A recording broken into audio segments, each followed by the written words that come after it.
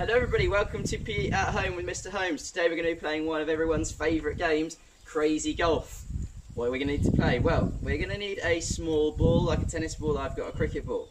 You're going to need something to mark a starting position for your Crazy Golf holes. I've got myself a cone, but anything you can use to put on the floor and mark the starting point. And then you're going to need to make a hole. Now don't go digging up your parents' garden. Here's some ideas I've got for holes for you a target, which if the ball hits, that counts as going in the hole. A smaller target to make it harder for you. If the ball hits that, that counts as going in the hole. Or what I'm going to use today, I've got a piece of string, I've tied it up in a circle, and I'll be able to put that on the ground, and the ball will have to end up in the string in order to finish the hole. Hopefully you can use your garden. If not, the ball's going to stay on the floor so you can use a safe space indoors with your parents' permission. What am I looking for today then? I'm looking for opposite foot forwards, toes pointing the direction you want the ball to go, fingers following through and pointing towards the target. I'm going to show you three levels of crazy golf holes that you can try and create and then I'm looking for some imagination for you to create some interesting ones at home. To start with level 1. And on level 1, you need your starting cone, you need a ball, and you need a medium-sized target. Choose where you're going to put them in the garden.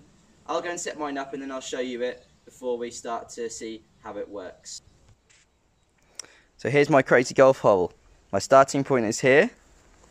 My finishing point is that garden gnome over there. And I'm not allowed to go over the stones. So I'm going to start here I'm going to have to work my way through the garden and then round this corner to hit that gnome. Let's see how we get on.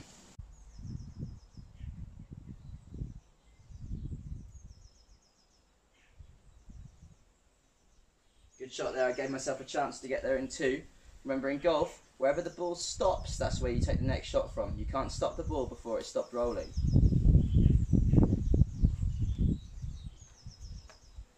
And I managed it in two shots. Remember, pointing your toes, pointing your fingers. Let me show you hole number two. Here's my starting point for hole number two. Notice I've started down on my patio this time. And I'm also going to start creating some more obstacles. So in order to get to the grass where my hole is, which is right at the back over there, I've first got to get up this ramp. Um, so I'm probably not going to be able to get over from this angle. I'll have to create a better angle in order to then get over the ramp. So once I've done that, I'm going to come up the ramp and then I'm going to have to work my way down the garden and I've also made the target smaller to make it harder for me and that's what I'm aiming for. The other rule I'm going to put for myself now is that if the ball hits any of the sides, that's a shot penalty. I've got to be really careful with my weight of roll to keep it away from the sides of the garden. Let's see how many shots I can do this tricky hole in.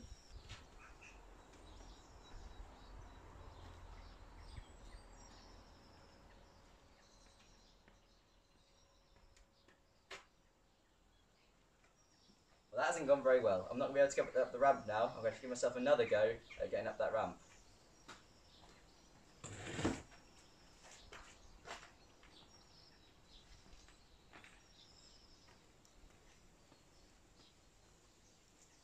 Now that the ball stopped, I should give myself a chance from here. Just. That's three shots up to here. Remember, I can't hit the sides um, anymore. I'm going to try and get to my target at the end of the garden.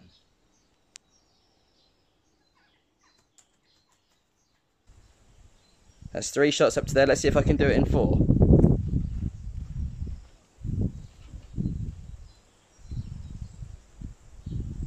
Not quite enough pace. It's going to be a five shot hole. And there we go, five shots. That was a tough one. I'd probably tried that a few times to see if I can improve on my score. Let's show you how I'm going to set up hole number three. Okay, let me take you through hole number three. For this one, we're doing the same route as the one before, but we've added some extra things in. So take a look. I'm going to start from here. I'm going to work my way up the ramp just like before. But then, we now have obstacles in the garden. And for this round, if I hit any of those obstacles, that's going to be a shot added to my score. Remember, in golf, we want the lowest score possible. So after the ramp, I need to navigate round the chairs and the bucket over towards the hole. Now, I can either choose the difficult way through the gap that I've made there with the obstacles, or I can try and go the easy way, but the longer way around the washing line. Let's see how we feel when we get there. And we get to the finish, instead of a target this time, we've got our string down there, which the ball needs to be in or touching. Let's see how we get on.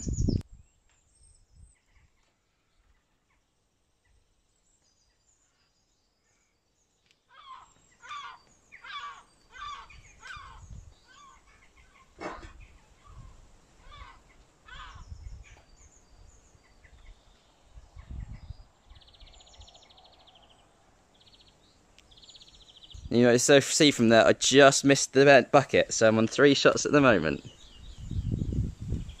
Let's see what I decide to do. I think I'm going to go through the string. I've got a line on it. Let's have a look. Through the obstacles, I mean.